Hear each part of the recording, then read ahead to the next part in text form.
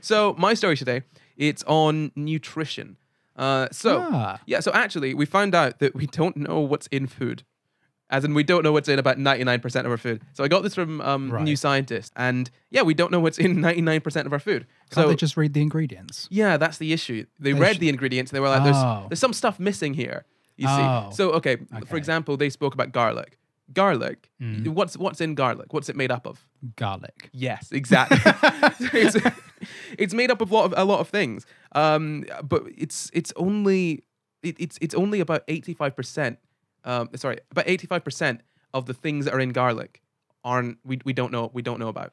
That's kind of an issue because if you think about it, tiny little amounts of molecules Yeah. can really change your diet. So, for example, B twelve, vitamin B twelve, you don't need very much of it, Mhm. but if you don't have any of it, you get a pretty big. The deficiency is yeah, quite. you you, you quite know when you've got a B twelve deficiency. Yeah. Um, and that's the thing. We've only got about a hundred. I think it's about 150 nutritional components um, that we understand. That doesn't seem like very many. No, it's it's not. So No. uh, if you're looking at ingredients um, for garlic, it would only be the the nutritional components that we know about, Right. and we even ignore the things that make up the flavor. hmm But all of these things can still have an impact on our body, Yeah. And we just we genuinely just have no idea what's going on. So we've called it um, nutritional dark matter because. oh, because like the universe. Yeah, because like the universe, we just have Yeah. no idea what's going on. Yeah. And and we're we're starting to do more studies into this. So a, a team of scientists um took a, a load of databases um and put them and sort of put them all together.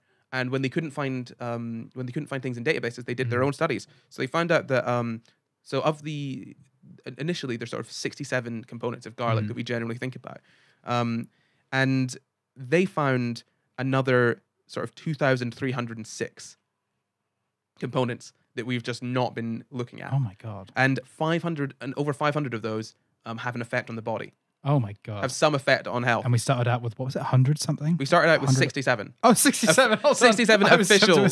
so right. 67 official components of garlic so this is like if you look in the us database Oh, for components of garlic you'll have you'll find 67 things we found over 2000 other ones over 500 of which affect your body Yeah, those How other things work. 500 don't matter, do they? exactly No. so i mean um, if you've got uh, beta carotene do you know what beta carotene is No. I It's- Carrots. yes it's in it's Oh, in so that, yeah, would, that would make sense.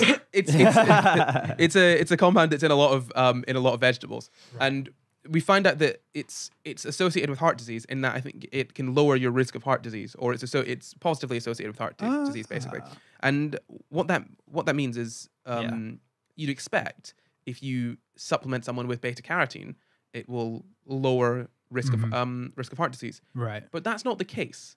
It, it apparently there's Right. not really much correlation. But whenever beta carotene is present in a vegetable, there are about 400 other molecules that are also present. So when we were looking, So it's beta carotene plus all these other things yeah, so combined. exactly. So when we're looking at say when we think when we potentially think that um a molecule in food has an effect on the body, it could just be any of the other molecules that are there whenever that molecule is there. Yeah. It could be sort of a s almost a Or signal. Like those molecules interacting with, like, they, Yeah, you have it- to have all like combination. You could you, it could be a combination. It could just be Yeah. that when beta carotene is there, let's say um, molecule two is there, Mhm. and molecule two is what actually does something. Mhm. Beta carotene doesn't do anything, but it it's always there when molecule two is there. Yeah. So if you give someone just beta carotene, you're not going to do anything. You'd need to give them molecule two. Yeah. But we don't know. We, we just don't know most of the things that are in our food. Right. Okay. Yeah, it's very stressful to be honest.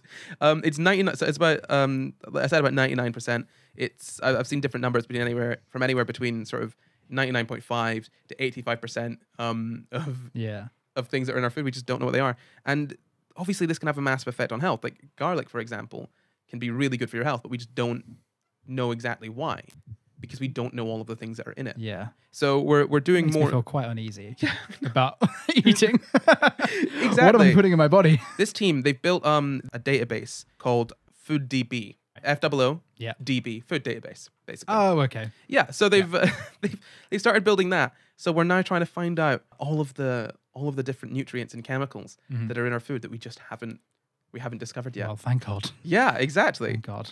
One So- day we'll know. And at that point, we can just get rid of food altogether. True. We can just We can just start separating out all the things we need, yep. just oh, consuming that stuff. exactly, exactly. Then we'll live forever.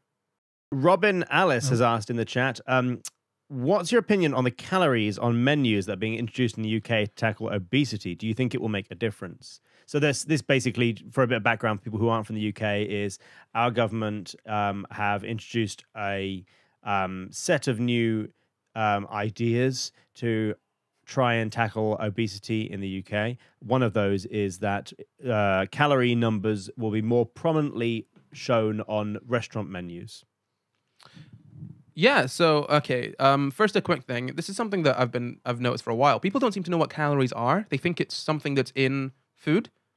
Yeah. For a long time, I thought calorie was an actual like like a thing, like Yeah. a substance that's in a food. Yeah. So many people. But yeah. it's not that. It's kind of like more to do with a measurement, right? Yeah, calorie is literally just a measurement of um, a measurement of energy. So if you uh, so if you're saying how many calories is, in, is are in a food, you're basically that's like that's like asking how many centimeters are in a carrot. So if a carrot's seven centimeters long, you'd say it's, there's seven centimeters in a carrot. That, that's, that doesn't mean there's little things called centimeters, Centimeters running around in your carrot. Rolling around on the carrot. Yeah. Um, so in, in terms of this, I think I think the way that the I, I think there's a few things going on here. I think obesity is definitely something that um, can increase your risk of different diseases. So I definitely think it's um, as a health risk, it is something that um, should be addressed in some way. However, I don't think the way that the government tries to deal with it is necessarily the most effective way. The way that they've tried to deal with it mm, pre- predominantly is through shame and stigmatization. Um, you find a lot of times people that are um, obese um, they they kind of get dismissed by uh, doctors because they see all of their problems um, as stemming from their obesity, um, which isn't always going to be the case. Yeah. Um, so I, I think I think also on top of that, calories on menus are not necessarily very helpful for people who have um, a history of um, eating disorders or Mhm. who have them. And uh, while I personally would find calories on sort of fast food and cafe menus being to be incredibly helpful, Pretty useful. yeah. So if if so if you're someone that say goes to the gym and it like or needs to have an idea of how much um, energy you're putting into your body, Mhm. uh, it's it can be very helpful, but then it can also be very harmful for other people. I think that um I think that ultimately it's a good idea. Um, well, sorry, I think that it's a good idea in a vacuum or in theory. Yes. I think in practice, without um without any of the sort of proper uh, help in other areas, uh, such as mental health or training doctors to see past obesity Mhm. when looking for um, uh, other sort of health problems. I think without those, it's going to have a negative effect Yeah. um, rather than the positive one that they're looking for. It may give you like the illusion that you're getting the full scope of the nutritional value of a piece of food when there's like even like the micronutrients and macronutrients are quite Mhm. important. Some healthier foods can have a lot more calories than unhealthy foods Yeah, for different reasons. That's- So yeah. that's the thing though. The, the idea of the concept of a healthy food and an un- unhealthy food is just it, it just doesn't really it, it doesn't really make much sense. I mean, Yeah. bro- you can say broccoli is a healthy food, but if you eat too much broccoli, you're still eating too much broccoli. It's just a case of it's a case of having a balanced diet with the right nutrients and the you know the sort of correct amount of energy for however Mm. much you're you're putting out. yeah. Um, there there are no healthy or unhealthy foods. There are healthy and unhealthy diets. Really. Yes, yeah. Yeah. Yeah. If you enjoyed that clip, head over to patreon.com forward slash Sci Guys where you can find the full show. Or you can stay here and catch up on old Sci Guys episodes. Or you can follow us on Twitter, Instagram, and Facebook at Sci Guys Pod to find out when we're doing more live shows.